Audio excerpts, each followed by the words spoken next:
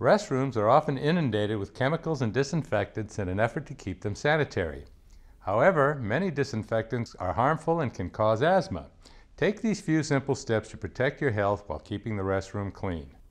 Before you start cleaning a restroom, increase ventilation by opening any windows and doors.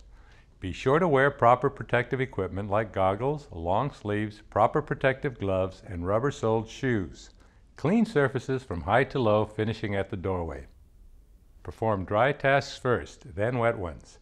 Make sure the floor drain gets flushed occasionally and keep floors dry to prevent slipping accidents.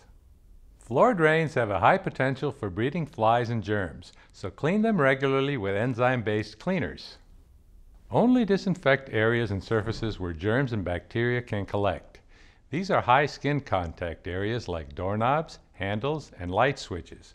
When disinfecting, use hydrogen peroxide-based wipes and cleaners instead of bleach, since they are just as effective, but better for your health.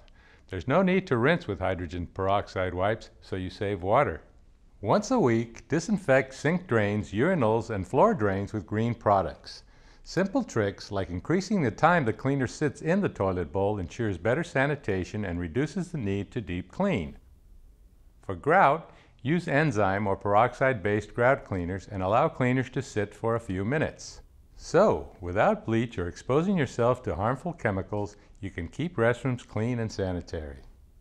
Clean and scrub sinks, countertops, toilets, toilet seats, and urinals. Use green products instead of bleach-based products. For tougher stains, allow cleaners to stand for a few minutes.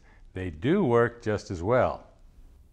If a bathroom sink becomes clogged, consider using a sink hand plunger or an enzyme-based product before using caustic drain cleaning products. These green practices will keep the restroom clean and sanitized while keeping you, the public, and our environment healthier.